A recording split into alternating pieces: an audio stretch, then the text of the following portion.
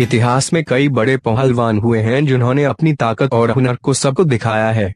भारत में पहलवानों की बात करते ही गामा और दारा सिंह जैसे पहलवानों का नाम ज़ुबान पर आ जाता है। अक्सर पहलवानी में भारत के ही पहलवान जाने जाते हैं, मगर विदेशी धरती पर भी कुछ ऐसे पहलवान हुए हैं जिन्होंने दुनिया भर में अपना नाम किया। ऐसे ही एक पहलवान थे यूजेन संडो, जिन्होंने जर्मनी का नाम पहलवानी में रोशन किया। कभी एक दुबले पतले से शरीर लिए संडो घुमा करते थे, मगर फिर कुछ ऐसा हुआ जिसने उन्हें पूरी तरह बदल दिया। उस एक घटना ने उनका नाम इतिहास के पन्नों में लिखवा दिया।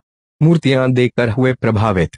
सन एक हज़ार आठ सौ सड़सठ में सेंडो जर्मनी के कोनिसबर्ग नामक स्थान पर पैदा हुए थे, मगर थोड़े ही समय बाद उनका परिवार इंग्लैंड की ओर रवाना हो गया। वे अक्सर खांसी और जुकाम की वजह से परेशान रहते थे। माना जाता है कि उनका लीवर काफ़ी बढ़ा हुआ था, इसके चलते उनका शरीर काफ़ी कमज़ोर हो गया था। वे एक बार अपने पिता के साथ इटली के रोम और फ्लोरेंस के अजायब घर घूमने गए थे। वहाँ पहुँच सेंडो ने कई ताकतवर और बलिष्ठ काठी के इंसानों की मूर्तियाँ देखी। उनकी सुगठित आकृति देखकर उन्होंने अपने पिता से पूछा कि क्या इस काठी के इंसान भी होते हैं? उनके पिता ने फिर उन्हें बताया कि यह लोग इतिहास के वे योद्धा हैं, जो हथियार से कम और अपने शरीर से ज़्यादा लड़ा करते थे, इसलिए यह सब इतने बलवान शरीर के हुआ करते थे। उसके बाद बलवान बनने का जुनून उन पर इस कदर चढ़ा कि वे थोड़े ही दिन में कसरत करने लगे। हालाँकि समय के साथ उनका शरीर अपने आप ही खिलता गया, जैसे ही उन्होंने इक्कीस की उम्र में कदम रखा। उनका शरीर पहले से कहीं ज़्यादा विशाल और ताकतवर हो गया।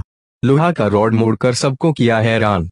बॉडी बनाने का खुमार संडो पर कुछ ऐसा चढ़ा कि वह दिन रात बस इसमें ही लगे रहते थे। उस समय पहलवानी में ज़्यादा पैसा नहीं था, इसलिए पहलवान लोगों के आगे अपनी ताकत की नुमाइश करके पैसा कमाया करते थे। संडो ने पहली बार दो सौ अस्सी पाउंड का भार बड़ी ही आसानी से करके दिखा दिया था। हालाँकि उन्हें इसके लिए दोनों हाथों का इस्तेमाल करना पड़ा। इस मुकाबले के बाद भी संडो रुके नहीं, उन्होंने लोहे के दो मोटे रॉड को तोड़कर जनता को हैरान कर दिया। हालाँकि पैसों से कहीं ज़्यादा कीमती नाम संडो ने कमा लिया लिया इसके बाद ही वे मशहूर हुए। सेंड ने शेर को भी ढेर किया। एक बार सेंडो अमेरिका के सैन फ्रांसिस्को गया।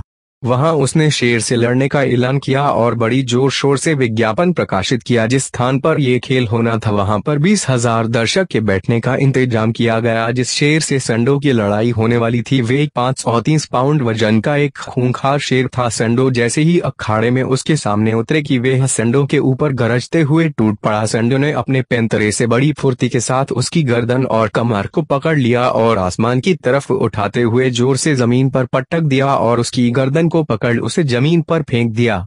शेर चारों खाने चिट हो गया। संडो के इस कारनामे ने उनका नाम दुनिया भर मर मशहूर कर दिया। सलमान खान के चाचा भी प्रभावित।